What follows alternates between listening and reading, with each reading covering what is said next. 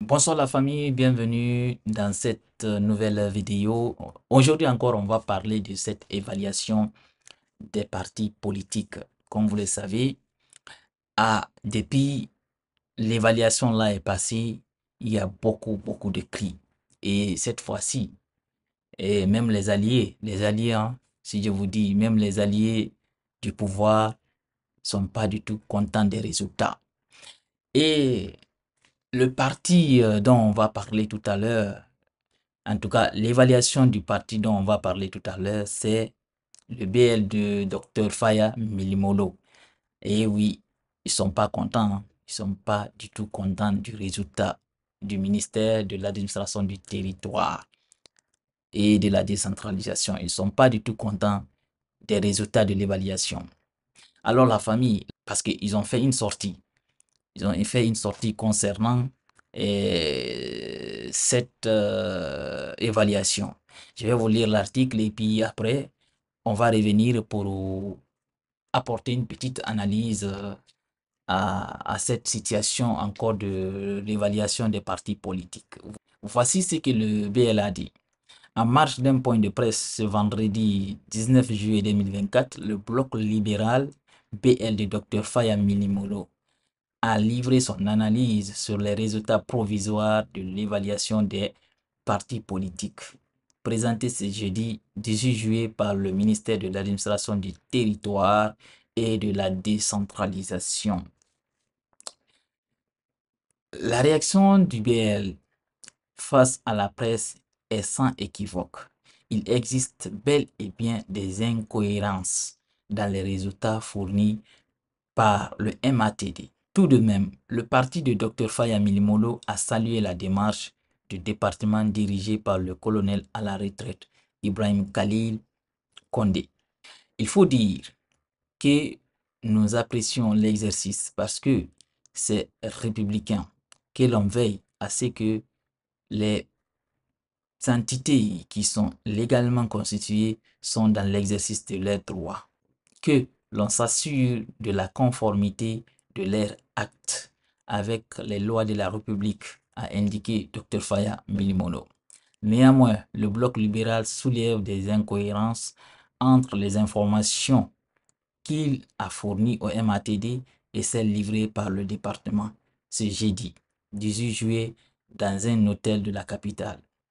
Dans cette fiche qu'on nous a envoyée, qu'on a appelée certificat d'évaluation des partis politiques, le bloc libéral, nous avons trouvé des éléments sur lesquels nous nous posons des questions. À la question de savoir si nous avons fourni la liste des membres fondateurs, on a dit non, alors que le premier document qui a été fourni, c'était la liste des membres fondateurs et qui est dans ces documents-là, ils disent est-ce que les membres du bureau exécutif actuel, leur mandat est valide ils disent non. Alors que notre dernier congrès, c'était en 2020, à Égrenier, Dr Faya Minimolo. Alors, eh, la famille, comme je vous ai déjà dit, euh, cette situation, il y a quelque chose qui se cache derrière cette euh, affaire d'évaluation. J'ai maintes fois dit ça. C'est une façon d'écarter certains partis politiques. Et eh oui, parce que le PL, malgré, oui, euh, on peut dire que c'est un parti aujourd'hui qui, qui est proche euh, du pouvoir en place, mais eux-mêmes, eux-mêmes, ils contestent. Parce que les, au fait, l'exercice de l'évaluation, ce qui s'est passé et le résultat que le ministère a rendu public, ce sont des deux choses qui sont vraiment opposées. Et ce n'est pas le seul parti il y a plein de partis. Il y a plein de partis politiques. Et cette situation, ça va encore créer d'autres problèmes en Guinée. Et oui, il y a d'autres problèmes en gestation parce que si on fait l'évaluation, en tout cas pour, pour écarter certains ce qui veut dire ces partis politiques-là ne vont pas rester bras croisés, ils vont se battre. De quelle manière, on ne sait pas, mais quand même, ils vont pas se laisser faire. Parce que je vais vous lire tout à l'heure eh, la déclaration de Madame Jenab. Elle est, elle est du ministère de, de MATD. Je vais vous lire sa déclaration et le délai qu'ils ont donné aux partis politiques qui ne sont pas à jour de mettre, eh, de mettre, euh, de corriger ces anomalies. En tout cas, après les trois mois, ils vont encore venir réévaluer encore le parti politique. Je vais vous lire eh, la déclaration de, de la dame et encore, on va continuer notre analyse. D'abord, le rapport provisoire rendu public a donné comme résultat au fait la situation des partis politiques en Guinée. Je vais vous lire ça et puis on va continuer. Comme je vous ai dit tout à l'heure, euh, on va décrypter.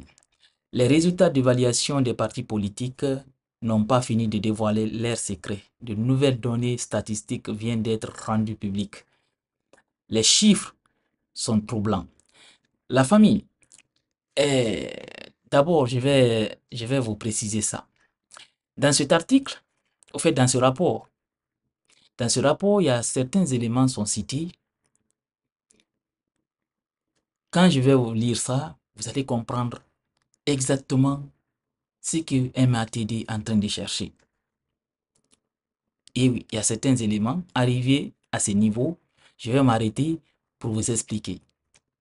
Selon la direction des affaires politiques et administration électorale, 25% des partis politiques, soit seulement 31 sur les 122 évalués, ont une implantation nationale.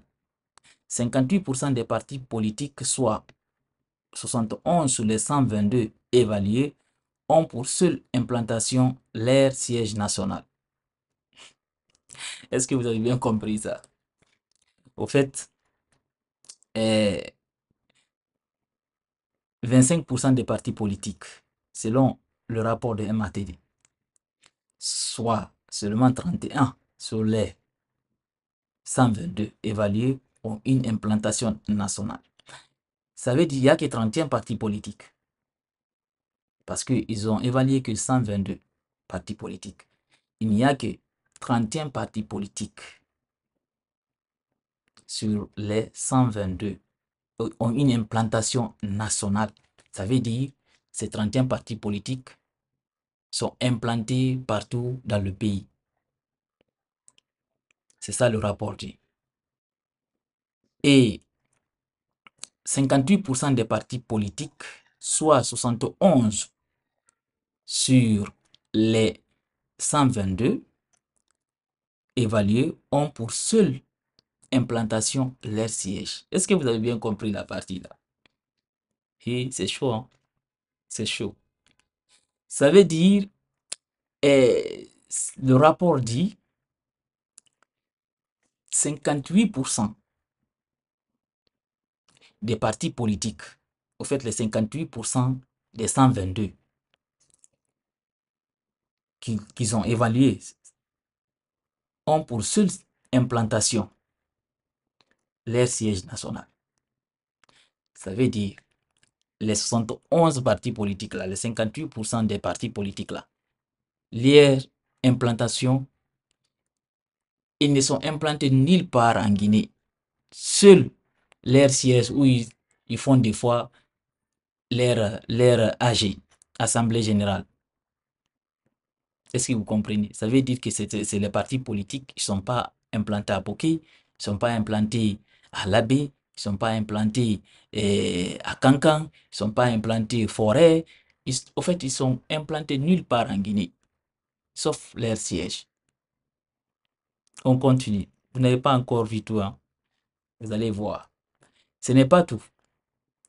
14 sur les 122 partis politiques, 14, alors c'est là la partie vraiment intéressante. Ce n'est pas tout. 14 sur les 122 partis politiques ont un concret confus. Et je vous ai dit, je vous ai dit, les gens là, les gens là, ils sont en train de chercher les choses. sont en train de chercher les prétextes. 14 sur les 122, je répète encore, 14 sur les 122 partis politiques ont un congrès confus, tandis que 82 partis sur les 122 évalués doivent aller en congrès fixé à 5 ans selon leur statut. Qu'est-ce que, sincèrement, si c'est pas pour, en tout cas, chercher des problèmes, qu'est-ce que le MATD à mettre sa bouche dans l'affaire du congrès de ces partis politiques Ça, je me demande. Hein. Ça, je me demande. Si le parti n'a pas organisé du congrès, je pense que ça, c'est le problème du parti. Hein. Ça, ça n'a rien à voir avec MATD. Sauf si je me trompe. Hein. Mais si les partis politiques n'arrivent pas à organiser le congrès, est-ce que le MATD a quelque chose à avoir dedans? Où est le problème du ministère? On continue. En tout cas, ce que vous cachez, ce que vous voulez faire là, c'est vous-même qui allez dévoiler ça ici. Voilà. 52% des partis politiques ont pour siège écoutez très bien, ont pour siège le salon, domicile de leur président. Alors, quand j'ai lu l'article là, c'est la partie là qui me fait vraiment rire, quoi. La partie là, ça me fait vraiment rire. Je vous ai déjà, déjà dit ça dans une de mes vidéos. J'ai dit, en Guinée, beaucoup de partis politiques n'ont même pas de siège. Ils ont leur agrément dans leur petit sac diplomatique là. Ils marchent avec. C'est devenu pour eux un business. Je vous ai déjà dit ça. Ça quand même, la partie là, je vais être d'accord avec le ministère. Ça quand même, je vais être d'accord vraiment avec le ministère. Parce que si nous disent ici, 52%, 52% des 122 qu'on a évalués, hein, parce que N'oubliez pas, il y a presque 100 autres partis politiques n'ont pas été évalués parce que eux, ils savent qu'ils ne sont pas en règle. Ils savent qu'ils n'auront même pas un point. Ils ne vont même pas gagner un point dans l'évaluation. C'est pour ça, et en tout cas, même si j'étais à leur place, j'allais faire la même chose. Je ne vais pas me présenter. C'est clair. Jusqu'à ce que le régime la parte. Parce que je sais que c'est les gens qui cherchent des problèmes. Je ne veux pas me présenter du tout. Et les 52% des partis politiques, je répète la partie, ont pour siège le salon domicile de leur président, selon les résultats provisoires de l'évaluation. Ça veut dire, moi, j'ai mon agrément, j'ai mon parti politique, j'ai pas de militants, mais peut-être, bon, si je me présente, ma femme va voter pour moi, mes enfants, mes amis, en fait, les gens du village, tout le monde. tout le monde va voter pour moi, quoi. Est-ce que vous comprenez? Ça, c'est ça. Mais j'ai pas de siège. Mon siège, c'est mon salon. C'est mon salon qui est mon siège. Si j'ai mes adhérents, mes collègues ou bien mes, mes, mes vice-présidents, mon secrétaire, s'ils viennent, on fait notre réunion là-bas dans mon salon. C'est là-bas notre siège. Et voilà. Et la Guinée.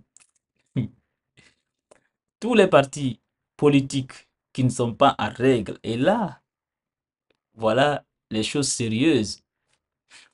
Tous les partis politiques qui ne sont pas en règle ont un délai de trois mois pour se mettre dans les normes, indique Madame Kamara Zenaboutouri. Elle précise que l'objectif de cette évaluation n'est pas de dissoudre les partis politiques. Nous n'allons pas dissoudre directement. Est-ce que vous comprenez la partie là Nous n'allons pas dissoudre directement les partis politiques qui ne sont pas en règle. Mais selon les dispositions, ils auront trois mois pour se mettre en règle.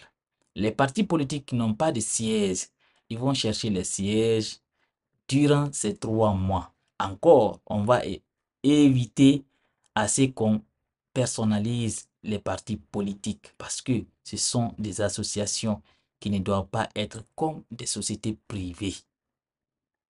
Donc, comme l'a dit le ministre, la loi sera appliquée dans la rigueur. Alors, la famille, imaginez un parti politique qui n'a pas de siège, qui a comme siège son salon. Comment est-ce que lui, déjà, il, est, il peut trouver un siège pour son parti. Mais comment est-ce que dans trois mois, ce parti politique qui n'a même pas de siège auparavant peut implanter son parti au plan national? Qu'est-ce que vous voyez? Eh, Est-ce que vous arrivez à comprendre? Je répète, un parti politique qui n'avait même pas de siège, on lui donne un délai de trois mois pour qu'il se mette à jour. Au fait, il cherche un siège, il va, il va implanter son parti dans tous les pays.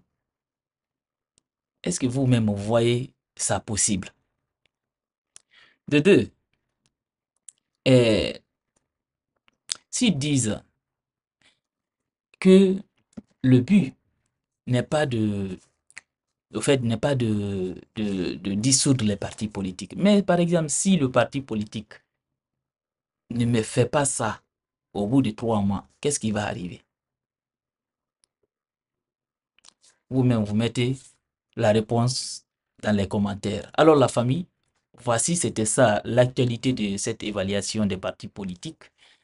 Alors, je vous invite à partager la vidéo et partagez-la au maximum. On se reprend encore plus tard pour une nouvelle autre vidéo.